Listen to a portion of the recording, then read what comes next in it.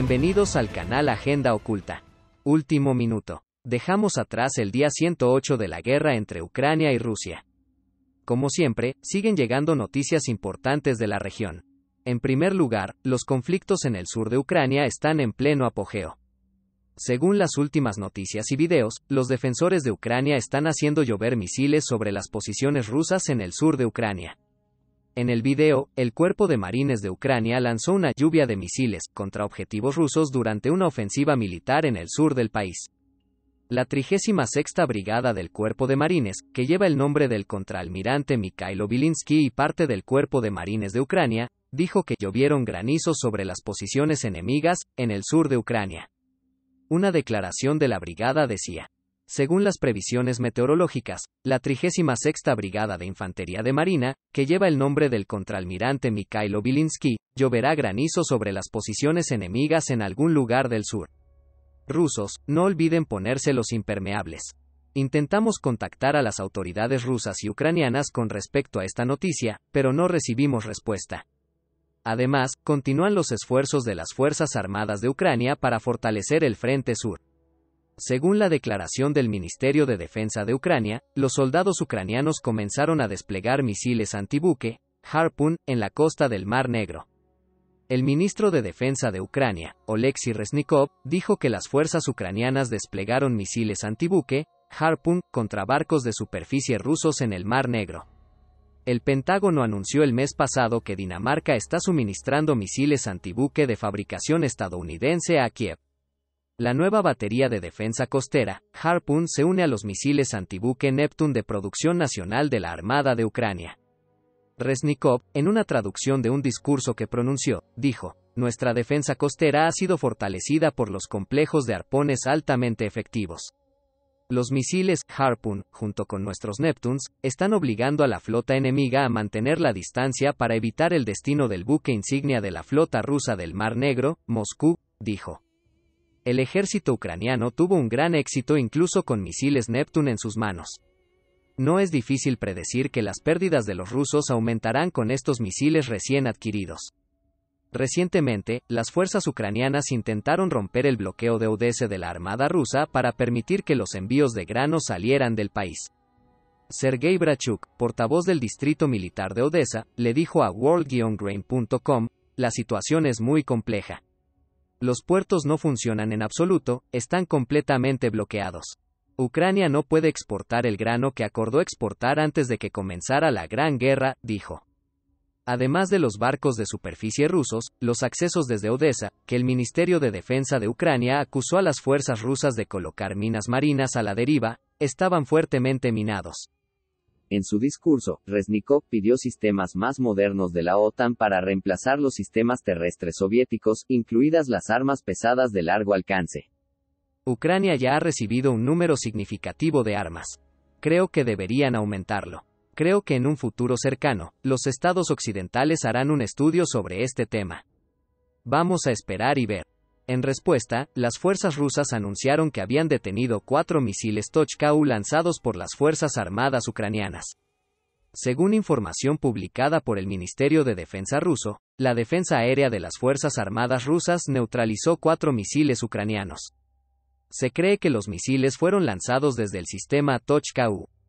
Ucrania ha estado utilizando estos sistemas desde la época soviética. En otras palabras, ya se sabe que tienen estos sistemas en sus manos. Pero hay un problema aquí.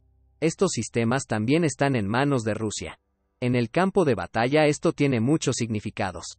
Lo más importante, dado que los rusos tienen toda la información de seguimiento de este sistema, pueden detectarlo fácilmente en su radar. De hecho, esta es la razón por la que los rusos no pueden detectar misiles antibuque como el Neptune. En este punto, el apoyo de Occidente se vuelve más importante porque los sistemas que Occidente enviará a Ucrania son sistemas que los rusos no conocen, o al menos no están acostumbrados. Para que puedan marcar la diferencia en el frente. De lo contrario, son fáciles de cazar, al igual que los misiles Tochka.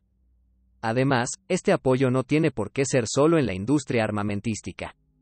Un oficial del ejército de los Estados Unidos elogió Starlink de Elon Musk, un servicio de Internet satelital que brinda conexiones de alta velocidad a las áreas más remotas de Ucrania. afirmó que esta tecnología frustró los esfuerzos de propaganda de Vladimir Putin y ayudó a las fuerzas sobre el terreno.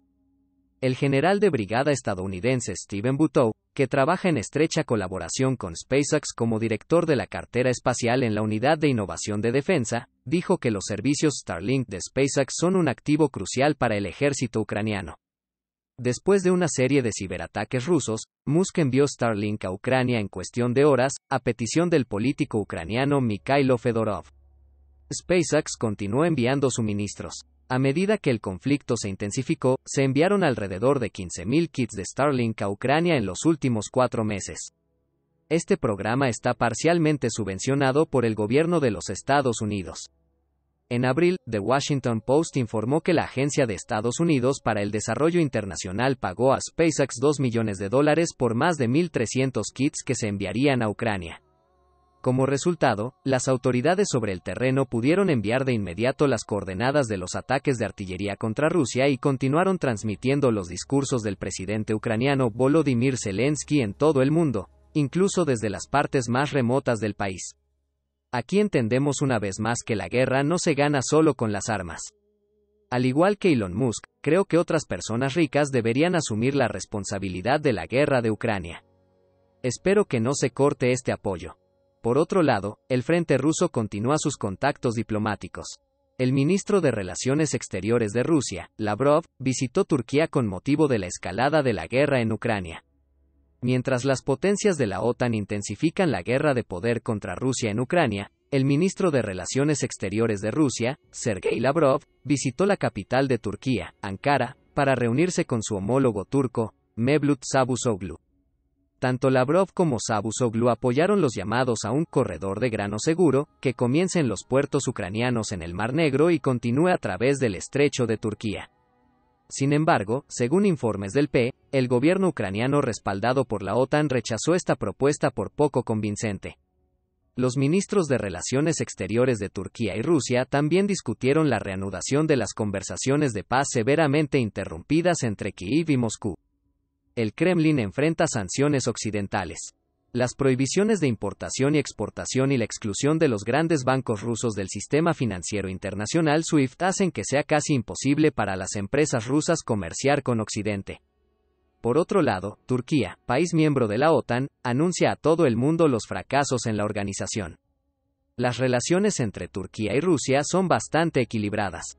Turquía está siguiendo una verdadera política de equilibrio en este periodo. Seguiremos la evolución en los próximos días. Manténganse al tanto. Hemos llegado al final de otro vídeo. Os seguiremos contando de forma rápida y precisa lo que sucederá en las próximas horas. Seguimos informando los hechos con objetividad. Puedes darle me gusta a los videos para apoyarnos. También puedes suscribirte al canal para que sea más fácil seguir nuevos videos. Les deseo a todos un día libre de guerra. Nos vemos.